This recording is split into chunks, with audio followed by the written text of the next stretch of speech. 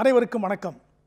Madurai Loyola web TV என்கிற வலைக்காட்சி வழியாக உங்களை சந்திக்கும் நான் ஆ ஸ்டீபன்.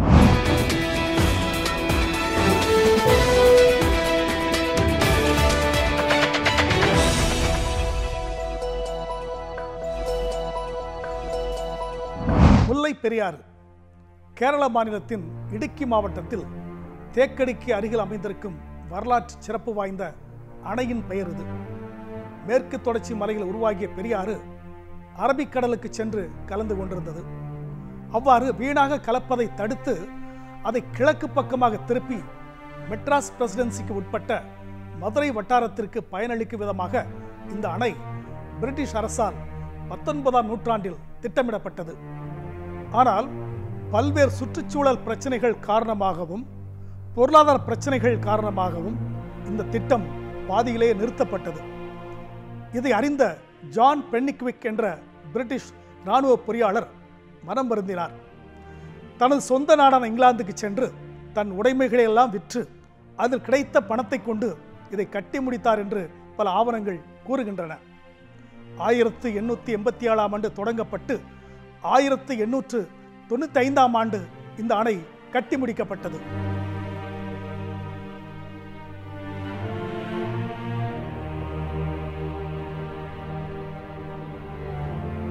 ஒரு மாபெரும் தியாகத்தால் கட்டப்பட்ட இந்த அணையால் அடிக்கடி பஞ்சம் ஏற்பட்ட மதுரை பகுதி நீர்வளத்தை கண்டது என்பதும் அடிக்கடி வறண்டு போகும் வைகையை வளமாக்கியது என்பதும் நாம் அறிந்த உண்மைகள். தேனி திண்டுக்கல் மதுரை சிவகங்கை ராமநாதபுரம் ஆகிய ஐந்து மாவட்டங்களுக்கு பாசன தேவைக்கும் குடிநீர் தேவைக்கும் இன்றும் இது பயன்படுகிறது.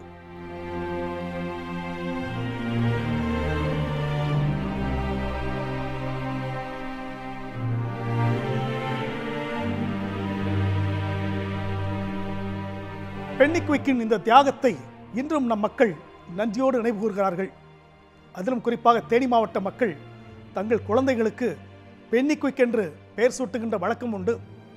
அது மட்டுமல்லாமல் தை மாத பொங்கலை பென்னிக்விக்கிற்கு படைக்கின்ற அந்த வழக்கம் இன்றும் தொடர்கிறது.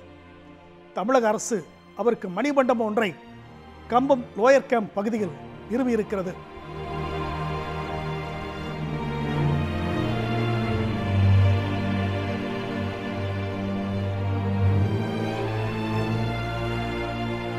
சரி இவ்வளவு சிறப்பு வாய்ந்த முல்லை பெரியாறு என்ற சொல்லின் ஆங்கில எழுத்தாக்கம் என்ன? எம்யூ எல்எல்ஏஐ பிஇஆர்ஐஒய்ஏஆர் என்பதுதானே?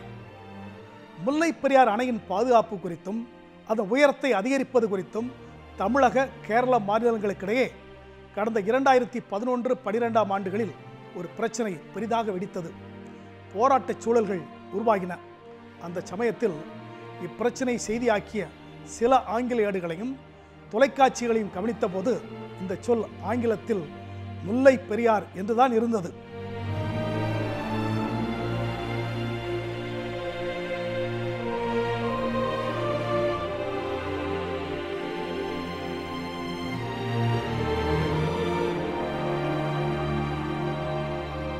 ஆனால் ஒரு சில ஆங்கில ஏடுகளில் முல்லப்பெரியார் என்ற சொல் இருந்தது.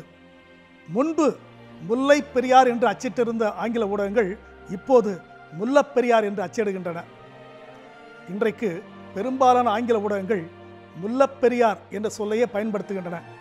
சரி முல்லை பெரியார் என்பதற்கும் முல்லப்பெரியார் என்பதற்கும் என்ன வித்தியாசம்?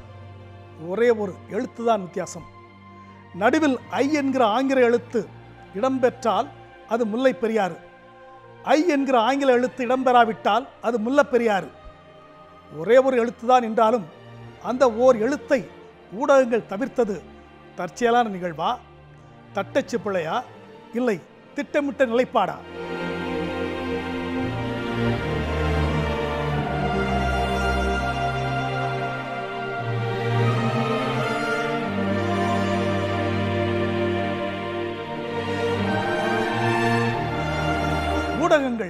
தாம் வெளியிட விரும்பும் உள்ளடக்கத்தை செய்தியை சொற்களை எழுத்தை தேர்வு செய்யும். இது ஊடகங்களின் தன்மை. ஊடகங்கள் வெளிப்படையாக சொல்கின்ற செய்திக்கும் அவை சொல்ல வருகின்ற செய்திக்கும் ஒரு வேறுபாடு உண்டு. இதுதான் இந்த ஒற்றை எழுத்தில் அடங்கியிருக்கும் ரகசியம். இன்னும் வெளிப்படையாக சொல்ல வேண்டுமென்றால் முல்லை பெரியார் என்பது ஒரு தமிழ் சொல். முல்லப்பெரியார் என்பது ஒரு மலையாள சொல்.